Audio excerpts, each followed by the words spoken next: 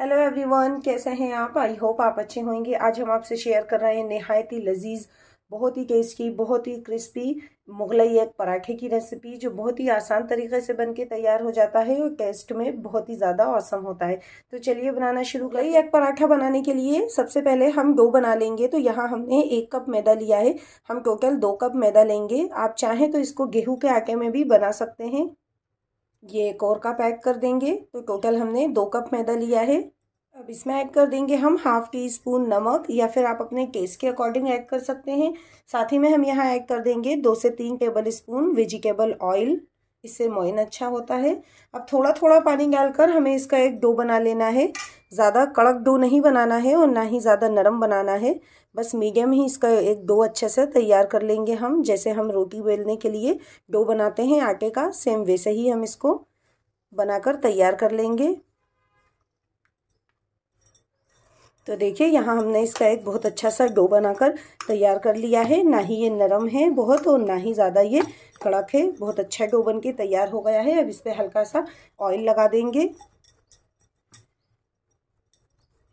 और अब इसको कवर करके रख देंगे तकरीबन पंद्रह से बीस मिनट के लिए रेस्ट के लिए छोड़ देंगे। अब यहाँ हमने एक बाउल में तीन अंडे ले लिए हैं। अंडे की क्वांटिटी आप अपने हिसाब से एडजस्ट कर सकते हैं। अब इसमें ऐड कर देंगे हम प्याज। तो यहाँ हमने एक बड़े साइज़ के प्याज को ऑमलेट कट काट लिया है। ये इसमें ऐड कर देंगे। साथ ही में हम यहाँ ऐड कर देंगे बारीक कटा हुआ एक मुट्ठी हरा धनिया। और इसी के साथ ऐड कर देंगे हम दो हरी मिर्च, जिसको हमने बारीक चॉप कर लिया है। मिर्च की क्वांटिटी आप अपने हिसाब से कम या ज़्यादा कर सकते हैं। और इसमें ऐड कर देंगे हम हाफ़ टी स्पून काली मिर्च पाउडर। साथ ही में हम इसमें ऐड कर देंगे वन फोर टी स्पून हल्दी पाउडर। और यहीं पर ऐड कर देंगे हम नमक। तो हाफ़ टी स्पून नमक ले रहे हैं हम। आप अपने हिसाब से नमक ऐड कर सकते हैं। अब सारे मसाले के साथ हम अंडे को अच्छे से मिक्स कर लेंगे। अच्छे से फेंक लेंगे अंडे को, जिससे सारे मसाले अंडे में अच्छे से एब्जॉर्ब हो जाएँगे। तो देखिए, हमने मसालों के साथ अंडे को अच्छे से मिक्स कर दिया है। अब इसको साइड में रख देंगे और अब हम पराठा बना लेंगे। तो देखिए, आटा यहाँ अच्छे से सेट हो गया है। तकरीबन पंद्रह से बीस मिनट हो गए हैं आटे को रेस्ट पे रखे हुए। अब इनके हमें पेड़े बना लेना है। तो इसको हम चार भाग में डिवाइड कर देंगे। आप अपने हिसाब से इसको काट सकते हैं, जैसा आप चाहें। हमने इसको चार पीसेस में कट कर लिया है। अब इसके हम पेड़े बना लेंगे। तो देखिए, यहाँ हमने बराबर बराबर साइज़ के इसके चार पेड़े बनाकर तैयार कर लिए हैं। अब इसको हमें बेलना है। तो हम सबको साइड में रख देंगे और एक पराठा हम बेल लेंगे। पेड़े पे हमने थोड़ा सा मैदा लगा लिया है और मैदा लगा के अब हम इसको बेल लेंगे। तो हमें इसको बहुत बड़ा बेलना है और पतला बेलना है, मोटा नहीं बेलना है। और देखिए, हमने इसको यहाँ पे अच्छा बड़ा बेल लिया है और बहुत मोटा नहीं बेला है। हम आपको दिखा देते हैं। ये देखिए, हमने इसको बिल्कुल पतला बेला है। ऐसे ही इसको बेलना है। इसमें थोड़ा सा अंडे का मिक्सचर रख देंगे। बिल्कुल सेंटर में रखेंगे। बीच में थोड़ा सा इसमें और ऐड कर देंगे। और अब इसको फोल्ड कर लेंगे हम। तो पहले हम यहाँ से उठाएँगे और इसके ऊपर रखेंगे। फिर यहाँ से उठाएँगे और इसके ऊपर रखेंगे। जैसे हम बिल्कुल पराठे बनाते हैं, वैसे ही शेप देंगे।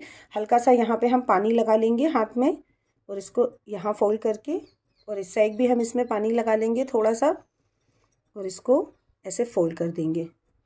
और बस अब हमें इसको फ्राई कर लेना है।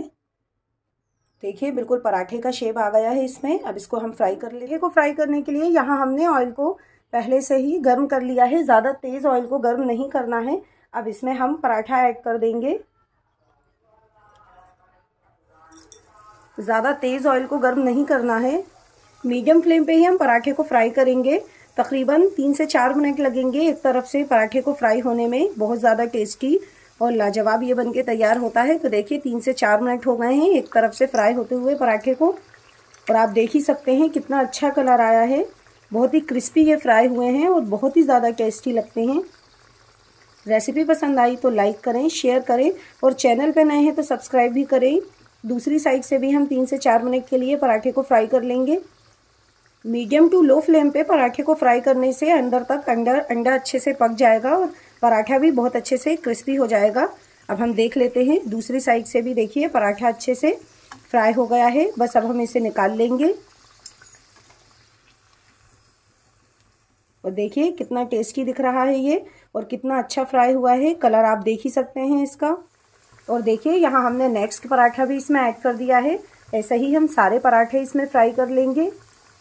एक साइड से ये भी फ्राई हो गया है, इसकी साइड्स को भी हम चेंज कर लेंगे। ये देखिए, कितना अच्छा कलर आया है।